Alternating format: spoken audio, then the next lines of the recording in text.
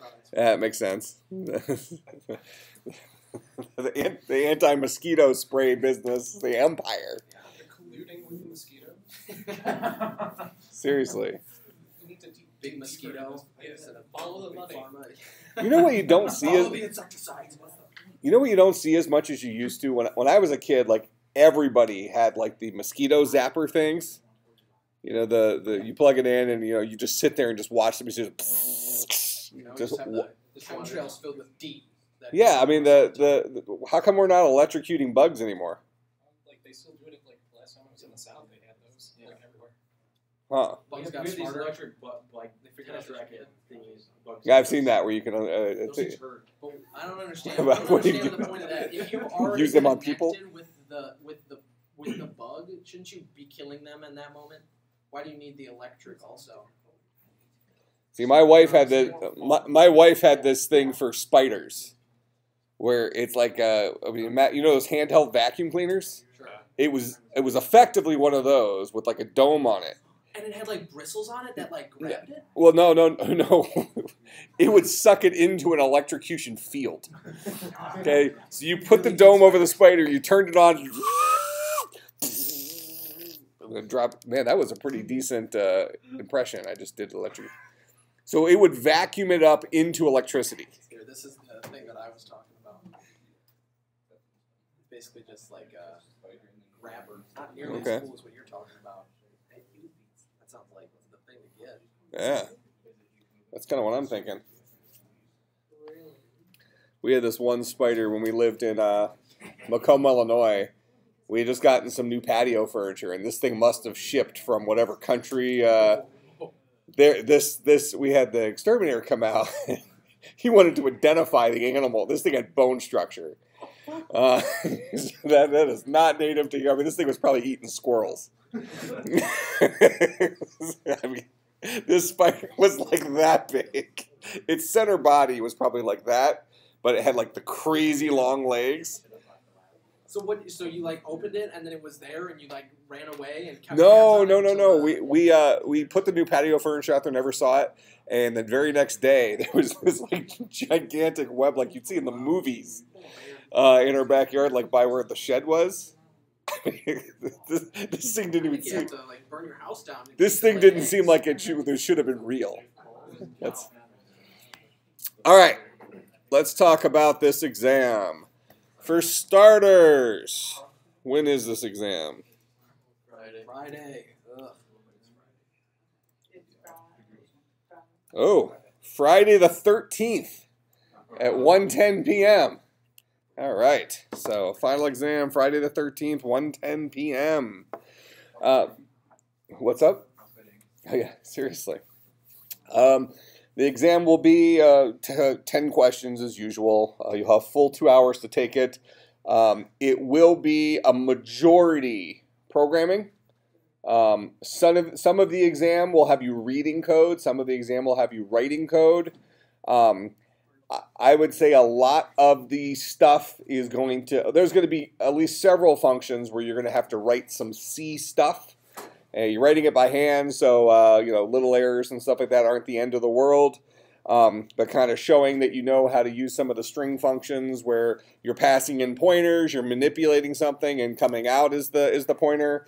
Uh, there might be things external to strings, just just working with pointers. So we've done quite a bit with pointers and addresses and um, and, and things like that. So uh, uh, being able to manipulate stuff. If I say write a write a method that does this, write a method that does this. So maybe even treat um, probably close to half of the exam as maybe almost like a C programming ex- exam. Little to do with shared memory and, and stuff like that. Um, let's see. Uh, there will be some uh, shared memory, uh, semaphore type questions. I will allow you to have one sheet of notes for the exam. So if you want to, you know, print out some example code for creating shared memory, and Type, And- so it can be typed. huh, So it can be typed. I'm fine with that. Yeah, I mean, so understand I'm going to ask questions assuming you have that in front of you. Um, so you know, like I don't, you know, I'm not necessarily saying you have to remember, memorize the exact two lines of code for creating and getting shared memory. Okay, but I might ask you to write something that assumes you're sharing some memory. Um, you know, I might say, you know, fork fork a child and have uh, you know do something between the, the the parent and the child related to shared memory. You can have your little cheat sheet that lets you uh, see the code that you would need to put in there for shared memory. Go ahead. Both sides. Fine. Yeah. Yeah. I mean, is, keep in mind that the que- I'm I'm going to ask questions with the full knowledge that you have that sheet in front of you. Therefore, uh, the more I'm letting you write, the less it's probably going to benefit you. Is is, is the punchline. Um, but yeah, so bring a sheet. Uh, effectively, what I'm saying is you don't have to memorize the uh, you know SemGet and shared memory stuff and, and all that stuff. So that's what you would say needs to be on that sheet. Is setting up like the shared memory, the process, all that stuff. I would say, yeah. I would say the things that you definitely want to have on that sheet, you can put anything you want on there, but the things you definitely want to have on the sheet is just the stupid little syntax stuff. Um, and keep in mind, I'm not going to grade the syntax stuff for it like to the to the T. If you forget a, a, a one parameter or something, it's probably not the end of the world. But it's going to be more like if if the problem that I gave you to solve requires shared memory, I want to see that you use shared memory. Make sense? Um, in fact, in that particular case, it probably would even be sufficient for you to just, uh, you know, write a line that says, you know, get global shared memory named this. Just make up a function call that is effectively getting shared memory as long as somewhere else you set the shared memory. So it's more going to be about do you know when to use shared memory, when to not use shared memory, when shared memory even is required, like uh, when you, you spawn children and that kind of stuff. Uh, make sense? So uh, mostly uh, programming related, reading code, writing code, uh, and then knowing how to use some of the interprocess communication stuff we've dealt with. All right, so now let's look at some of the other things we've uh, discussed uh, so I can tell you where I will most likely put in filler. Uh, let's see. Uh, certainly something related to POSIX could be fair game.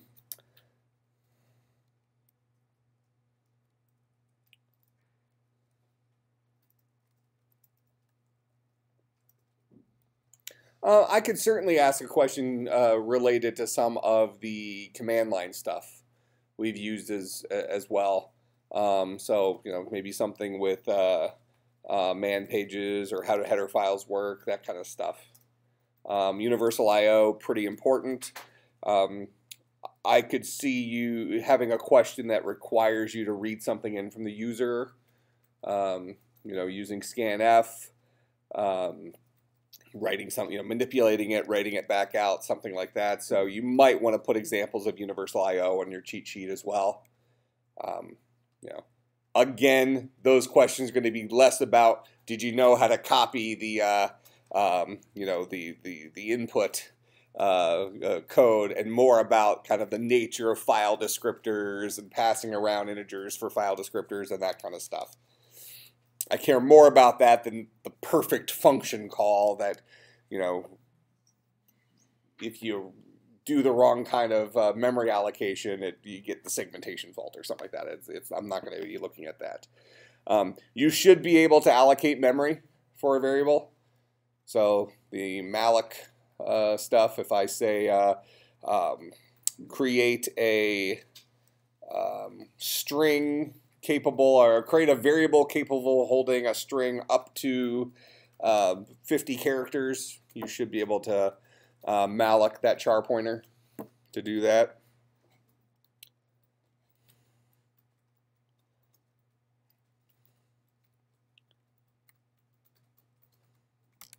Uh, more uh, command line stuff. I think on the midterm we had the standard in, standard out, standard error. So uh, along the lines of using the console, using the command line, redirecting standard input, standard error. Uh, remember the the the greater than sign uh, or the two greater than sign for redirecting something. So if I um, come out to the terminal here as an example. Um, so like here's who.java, something like that.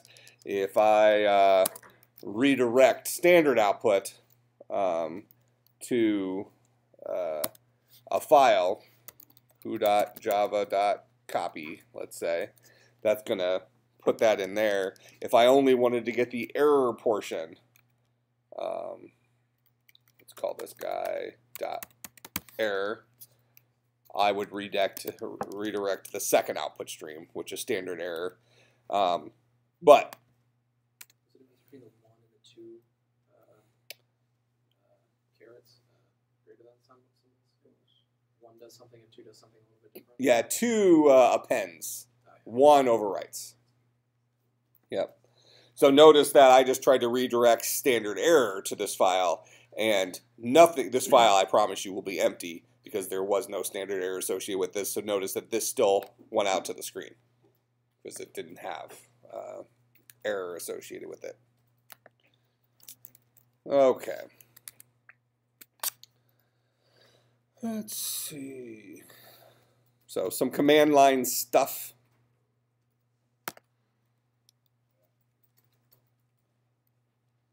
Um, certainly our process creation stuff, be able to use uh, uh, fork, be able to uh, differentiate differentiate between the parent and the child, be able to do some of our communication stuff between the parent and the child, um, be able to answer questions about what would be the right type of inter, inter process communication. So there could be a non-programming question that gives you some scenario and asks you to say, assuming we need this, you know, this scenario to work, um, how, what kind of inter-process communication might you use, and how to get the children to share the right kind of information with each other, that kind of some, that kind of thing. So using some of the options of inter-process communication we've discussed.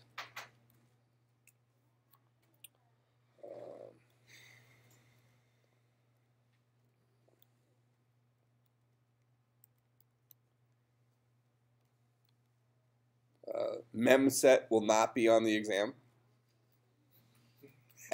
Or will it? Set mem. Set mem will be. I'll provide that function for you. All right. Um, Does it have the same parameters as that? does not. They're switched. They're switched. it flips everything around. There's one extra parameter saying it's just called Boolean not memset. True or false? Um, okay, let's see.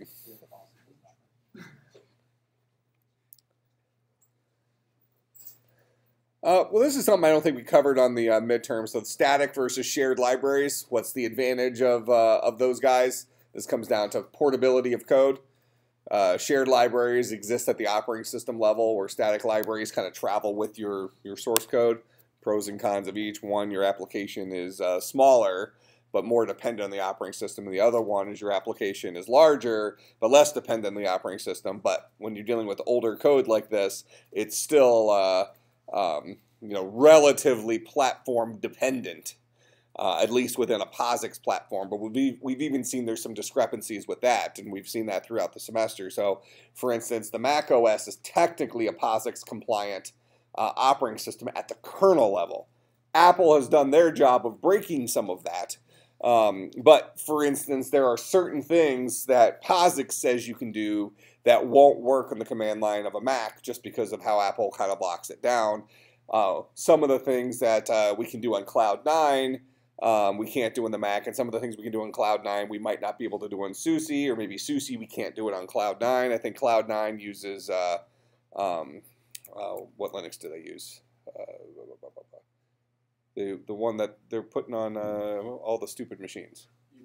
Ubuntu, yeah, they're using Ubuntu Linux. I'm almost positive Cloud9 does. I know, um, what was the guy before Cloud9 that we were using last semester? Were you using something else? Nitro, Nitro. Nitrous, Nitrous.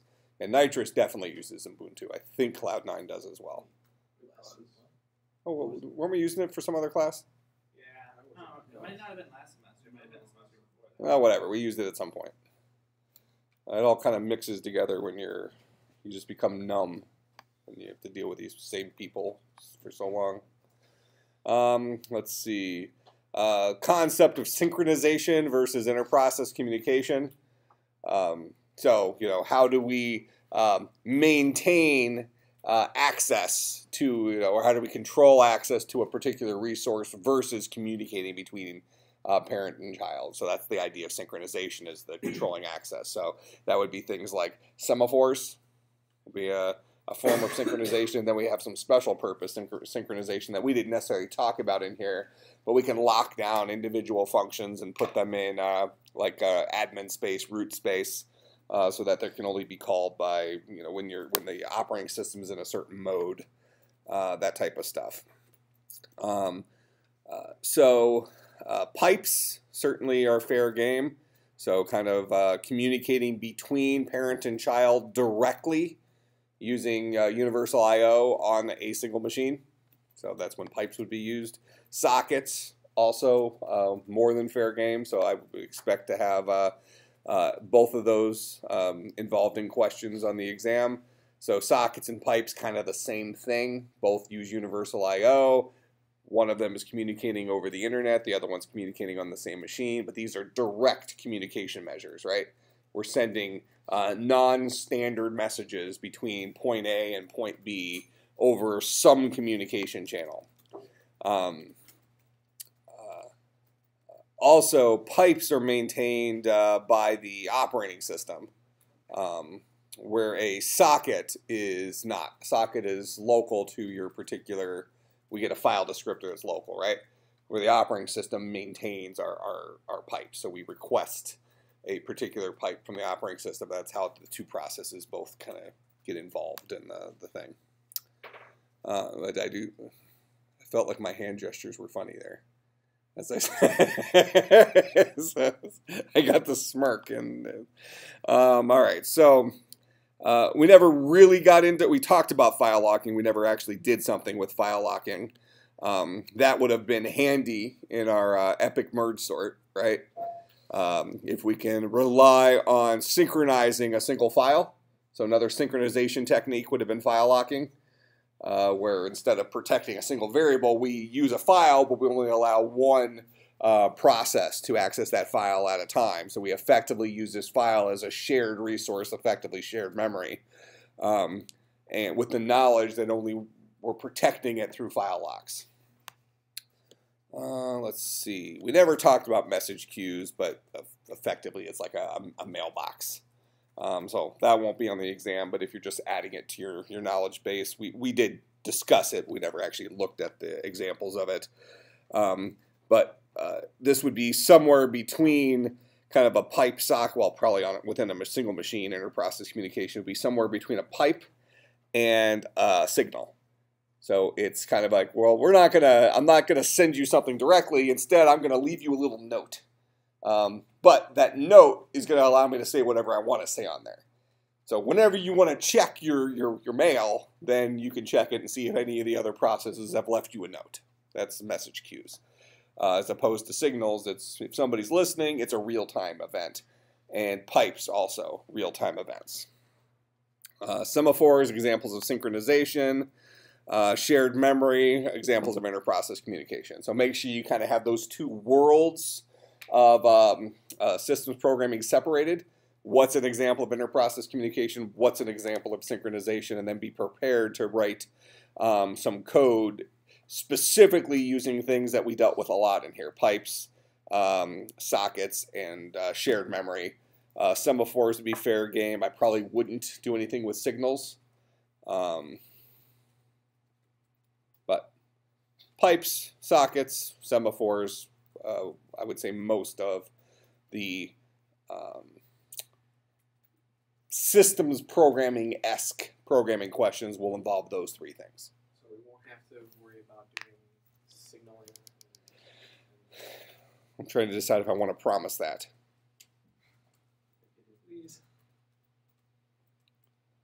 I, I think I can promise that. I think I can promise that. I think all the questions I'm planning on asking will involve either pipes, sockets, or semaphores. Uh, and shared memory. Definitely shared memory. So if you can kind of get those four, you know, IPC and synchronization tools down, I think uh, that should allow you to competently answer all those all those questions. Okay. Uh, we talked about threads at the high level, but because I'm, this exam is going to be mostly programming, we never did threads in. Uh, um, I mean, we, we technically participated in threads through pthreads, but we never wrote our own threads. We've just done everything with full full bore processes through the fork command. Um, nothing on that. Um, nothing on that. Well, if I got desperate for like an extra question, uh, you know, I could ask something about why is real time very different than process time or something like that. You know, the time a process actually spends on the CPU versus a human being's perception of, of time that would deal more with like scheduling and stuff like that. And um, I would have to get really, really desperate. But I'll say it's fair game. Uh, yeah, you're absolutely right. There will definitely be a conversion question on there. Good call. Good call. What about Hello World? Huh? No Hello World. Not on this one. Um, you know what would actually be fun? Fun? Bitwise one? I'm, I'm curious. Let's hear this. We weren't supposed to have. We were supposed Yeah, to have supposed have one on the that. midterm. What? You- That is you- true. Bitwise. You said there would be We should get bitwise, and there wasn't anything about it. Okay. You got it in bold all on your slides, and you said this will be on the test. All right. So I need to have Bitwise. Okay, here. So let me. I don't know. You did this last time, and it didn't didn't work out too It's well. There's gonna be a single question. Final exam fun. All right. Bitwise. We'll do that. There'll be a conversion question other than the Bitwise. Um, Go assembly. Uh, then Just a simple comparative assembly. Use the entire back of the sheet, right? Man, I just came up with a really. Uh, I gotta remind myself like that. Um, evil function uh, idea. Remember. That's not gonna happen. Yeah, well, No, I'm not gonna tell you because this thing is. Nobody's gonna answer this correctly. Merge sort with fork? It is. What's up? Merge sort with fork? It's- it's- it's a- Merge sort in assembly. Go. As long as it's not multi-threaded, it's okay. um. Okay. So. No, no, it's still not okay. Let's see. There. Um,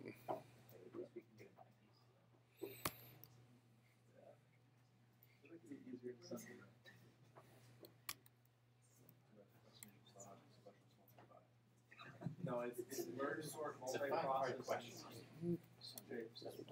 Merge sort multi-threaded. uh, all right. So shut up.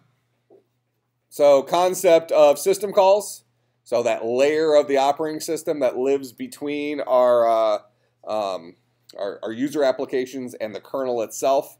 How we have these entry points, and we've used several different system calls. Most of them deal with our inter-process communication stuff, but that concept of uh, how system calls actually hook into the operating system and do the magic stuff for us.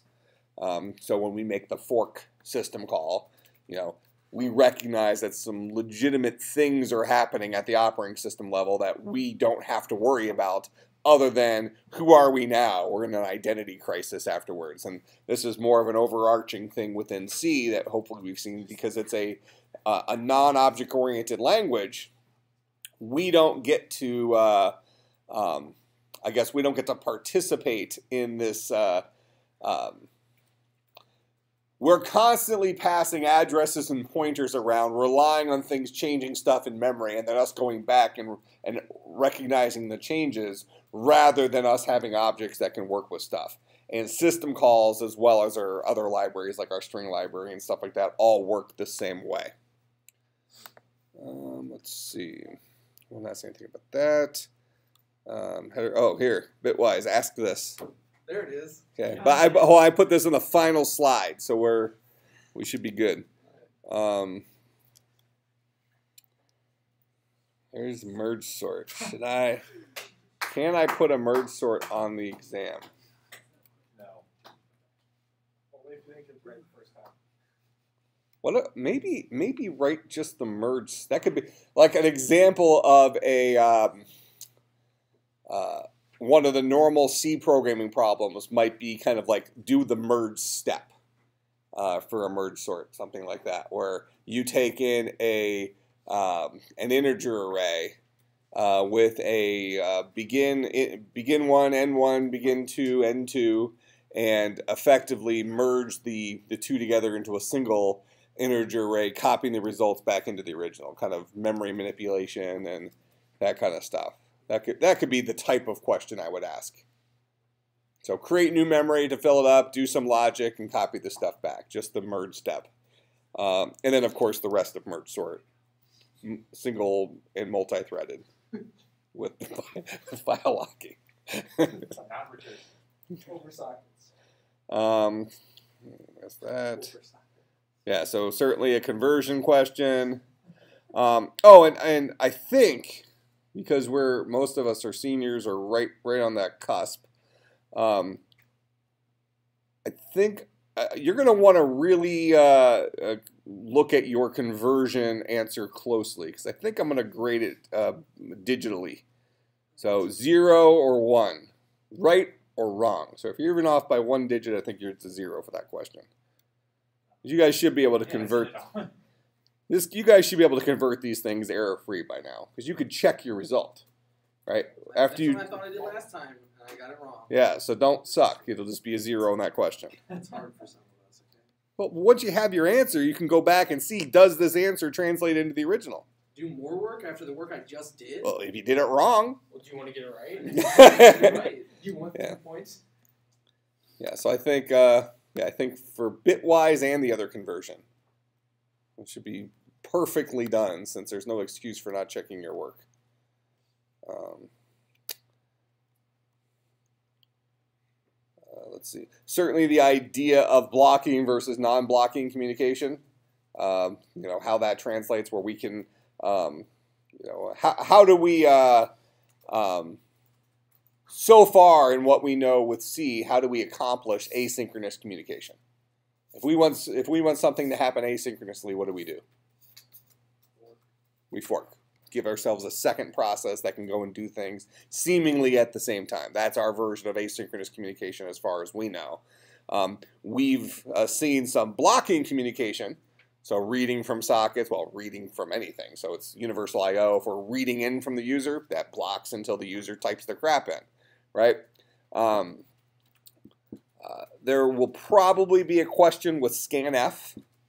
So, for instance, uh, uh, we looked in here about splitting the incoming string up. So I might say, uh, you know, read in your uh, first name, last name, and age into, uh, um, uh, you know, into three variables, and I don't you know, print them to the screen backwards or, or something like that, whatever. Um, but uh, oh, actually, that oh, another evil question. I like that one. Just say it out loud. You only pick one, so you might as well say this one. Okay, so let's say I ask you to read in your first name, your last name, and your age. Wow, that's so difficult. Oh uh, no, I, I want to. I don't want to. I don't want to give this. Oh, You might as well just give it away. No, no, no, no. Then, then, then, Where's my then you can give the other evil one. Where's my final exam slide? It was in the middle of your slides. Really? At the end. I thought I put it. So they totally would have gotten overlooked. It would have. Where did I put that? Right there. Oh my gosh. Didn't you say it was the last one? I, that's why I intended. Are we gonna keep track of two Evil first name, last name, first last name, age question. There's that one. Um, oh my gosh! Now I already forgot it. Hold on. As soon as it comes back to me, I'll come and give myself a bigger, a better hint. Oh, oh, oh! Here, I got. Now I remember. Conversion stuff. Didn't we do that on wall? Nightmare. Yeah, we did that in scheme. Yeah. Conversion stuff nightmare. All right, so that should be good. Man, nobody will get those right. Okay. It's always easier to grade exams where a majority of the questions are left blank. Those are, those are. Is that your uh, goal? um, Or you just make them all multiple choice, and Yeah. it's way easier. Select the correct function. Then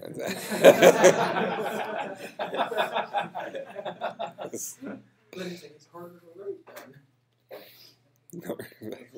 Probably what Ryan Guy. I think Ryan Guy had one of his uh, um, uh, exams over in Korea right now. He it was a multiple choice test, and all the answers were in Korean. it's like an English. It's an English. Uh, uh, it's like the teachers are going out of their way to be jerks. Like the class is in English. Just to write. Textbook, I don't know. The the textbooks in English, the t- but this class had to be offered like after the fact. Like they they screwed up, and the class wasn't actually supposed to be offered in English. I don't know what the deal is. Apparently, all of the questions. It was a multiple choice thing. All the questions were in English, but the answer options were all in Korean. so I might, might as well have been in. I might as well have been wearing a blindfold, and the answer would be in emojis or something. So, yeah. Well, I mean, chances are it probably didn't affect his grade. All right. Let's see.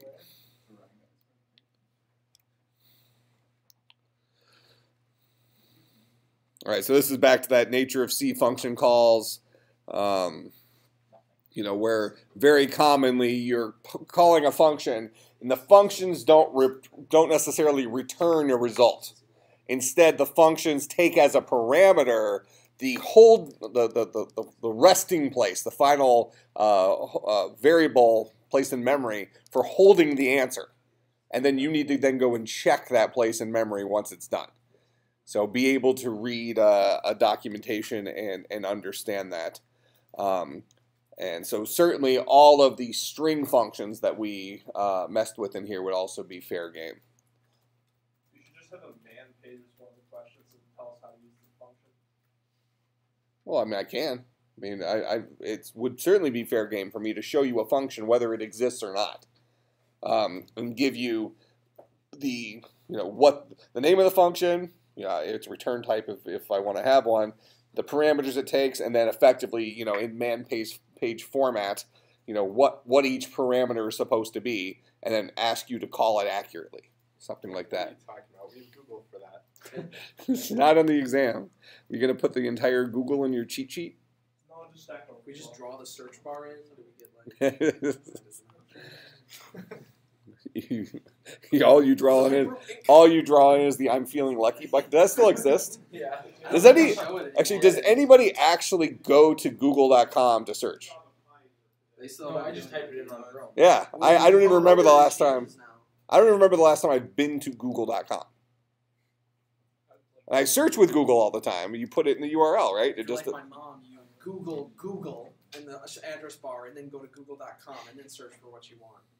Yeah. I think that's the correct procedure. that's the correct correct. I thought it was Google in Microsoft. Say, Bing No, Google. Um, okay. Again, definitely definitely understand what uh, semaphores are for. Netflix and chill. Netflix, yeah, be, be able to come up with the answer to this quiz. Um, let's see, anything else that'll be on there? Right, so, this is definitely more than ten questions. Huh? Well, I said these are fair game. I'm not gonna tell you what each question is. I told, oh, uh, hold on, I told, I told you two, 20% of the exam you now know. You know that there will be a bitwise question for 10% of the gra- exam that you must get either perfectly right or it's completely wrong. There will be a conversion question that you must either get perfectly correct or it's completely wrong. That's 20% of the exam. But we also So what's the automatically other- get twenty percent wrong because of two evil functions. So isn't that a wash? Yeah, but it's still, that's fine. Let's assume that's a wash. But this is still, if we assume these are not answerable questions, what I have highlighted there. Yeah. If we just make that as a blind assumption, you know what 40% of the exam is going to look like. So you really only need to concern yourself with 60%. is going to be covered in tears. So. Yeah.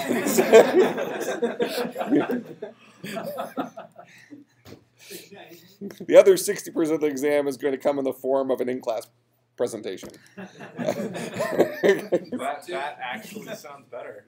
no, Uh, specifically by Evan. So the like his presentation is the presentation grade is for everyone. I. Well, we'll do the Christian worldview thing. You could either take the other 60% of the exam or come up to the front of the class and spend an hour and a half reading from the Bible out loud. and we're going to record that. well, each person who decides to do that version of the exam will be assigned a book of the Bible. That almost- Down with that. Do you have to listen to everyone else do theirs, or do you just have to do yours and then leave? So everyone shows up there. You have to read the book entire book. Yeah, can we pick the book? No, no, I'll assign the book. Can we pick the book? And you have to read it in the Greek. Oh, I can read in Greek. Wouldn't that be creepy? That Like they're giving some tour down the hall or something like that. You just have like twelve students up front. In the beginning. oh yeah, yeah. you got one. You got one person's like halfway through Genesis talking, you know, doing Noah's Ark. You got somebody else who's in Revelation. The more people who do that, I think the worse everybody else would do because they have to listen Yeah. Seriously, I mean, we almost have enough people here to. I mean, don't we? We can pretty much do the whole New Testament. We can come pretty close. I mean, some of the books are relatively short, so we can. If you got to go an hour and a half, you can go back to back. I'll read a book from the Bible out loud for an hour and a half. Sure. Wait, for an hour and a half, or until you're done? For an hour and a half. Oh, so it doesn't even matter. If you just finish, like, you start start over. Okay, so it doesn't even matter. That's a good memorization. Stop. Something. Don't breathe an hour and a. Just, just. Take one breath. Oh, you know what would be a good extra credit question?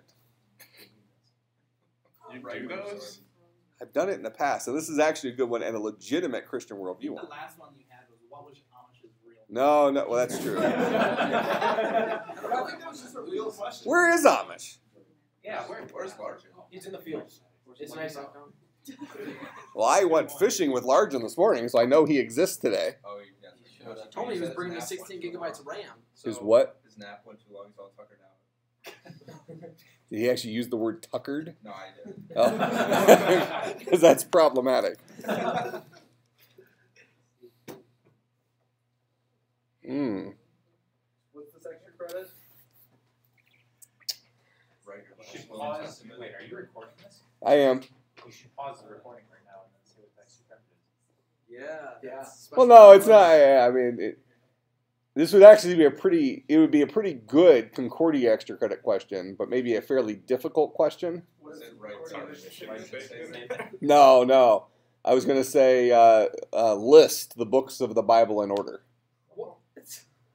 There's actually a really cool app on. Uh, there's you make there's that app? no. Well, the, I, I- there's an app that I use.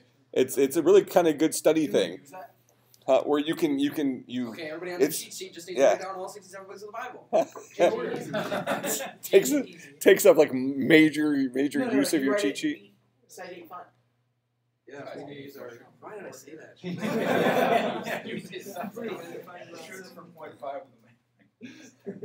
No margins. Yeah, I don't know. That would be a good question, but a long question.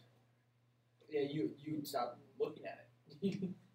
if you count them, you Or you could I would could do almost them as want to do multiple it just choice. to make you check all 67. Well, no, that would be another thing. If you had the room for it, you could just list like have all the books of the Bible, jumble them, and have you mark which ones are Old Testament, which ones are New Testament. That's easier than ordering them all. Well, that's definitely easier than ordering them all. Yeah. All right. So I think that's I think that's it. That probably won't be the extra credit questions. I wouldn't waste your time. I mean, well, you're not wasting your time memorizing them and knowing what's Old Testament, New Testament, but it's probably not going to be directly applicable to the 450 exam. But I might put an extra credit question on there. But if I do, it'll be like a legitimate one and probably a difficult one. Legitimate Christian worldview one, or just a legitimate extra credit question? Well, either one's fair. What is your nickname? Yeah. what is- All right. Questions, comments, concerns, bribes. All right. I'll see everybody on Friday.